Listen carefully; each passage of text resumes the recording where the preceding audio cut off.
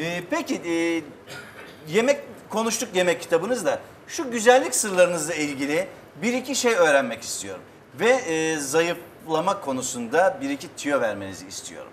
E, lütfen e, şeyi paylaşır mısınız bizimle? Mesela herkes sizi gördüğünde nasıl bu kadar e, güzel oluyorsunuz? Cildiniz nasıl bu kadar parlak diye ısrarla söylüyorlar. E, ben de bunu birkaç kez şahit oldum. Nedir bu işin sırrı?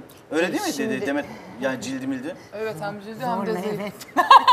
Yok estağfurullah. Zayıflık konusunda ben de bir bilgi almak isterim. Ben çünkü bu ara feci kilo Aynen. aldım. Aldın mı? Bayağı aldım. Kaç kilo aldın? Bayağı hiç sorma E karıştırma. bu kadar ama konserden konsere koşuyorsun. Yok Nasıl moher al- bir elbise giymiş bence onun için yoksa öyle şey Biraz bir aldım. şey yok. Öyle mi? Tamam biraz al. Tamam spor yap hemen. Biraz öğreneceğiz şimdi. Ne yapması lazım Filiz Hanım? Şimdi e, bir daha önce konuşmuştuk benim en çok zayıflatmak istediğim insan Kim? Sibel Can. Sibelcan. Ay çünkü Neyse, o kadar Demet Akalın güzel. Çünkü o da e, daha farklı bir kiloda. O kadar güzel bir kadın, o kadar genç. E, yani ben ona 10 günde 5 kilo, bir ayda 10 kilo verdirebilirim. Verdirir Yani. misiniz gerçekten? Yani tabii bu bir istek. Evet. Ama bir başka sorunu yoksa Hı hı. yani bir başka sağlık, Sağlık sorunu yoksa, sorunu yoksa. e, normal e, yollarla kilo aldıysa, yani e, başka bir Evet. sağlık ya da tedaviden Evet, dolayı kilo evet, almadıysa, bunu e, nasıl yapabilir, yaptırabilirsiniz peki bunu?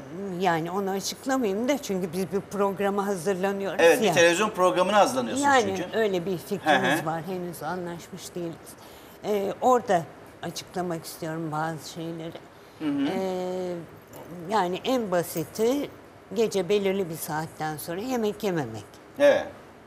Yani ben isterse Demet'i de birkaç kilo zayıflatırım. Vallahi hiç fena olmaz aslında. Hiç hayır demem de. Ben çünkü hani sporu da bıraktım. Çünkü ben senelerdir spor yapıyordum. Hı hı. İşte hani biraz daha böyle kendimi rolantiye alayım hani bebek için hazırlanayım dedim. Biraz fazla saldım kendimi. Masaj bile yaptırmıyordum. Hı. Bu sefer birden hani bir de tedavi Yok, görüyordum. değil ama, İlaçlardan da oldu ama ben Allah'tan çabuk veriyorum. O Şimdi hormonal şey çok şey Sanırım. yapar. Onun için yani orada faktör değişik.